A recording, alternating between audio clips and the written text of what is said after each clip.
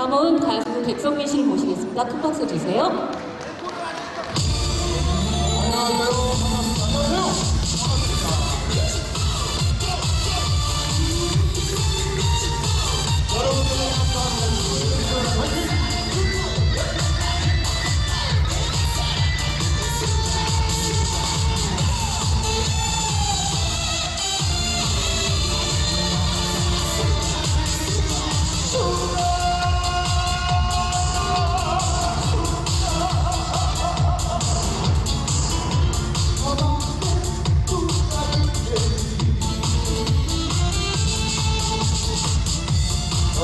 너를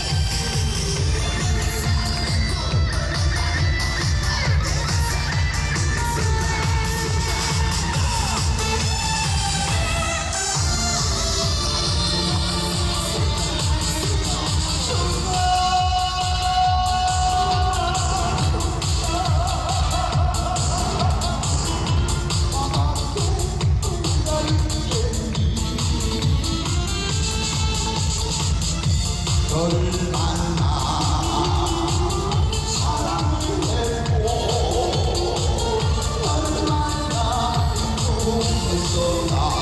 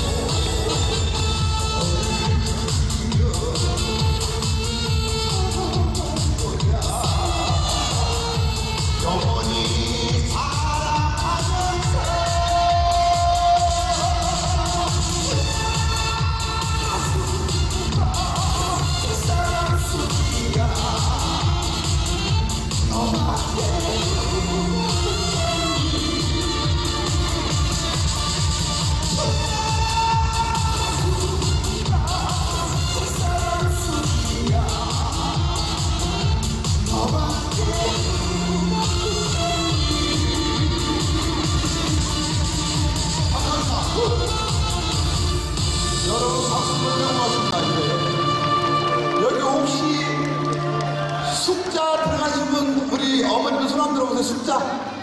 아 명숙이, 동숙이. 아 동숙이 저 옆에 있는데 감사합니다.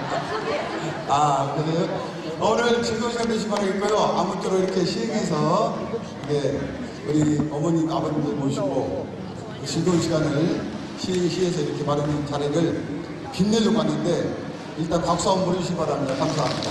잠시 후에는 제가 노래 끝나고 이 나오셔서 춤을 잘 추시면은 이 상품을 드린다는데 어머님들 어떻습니까? 아버님들 나오셔서 1등, 2등, 3등, 1등 뭐 아주 좋은 거지.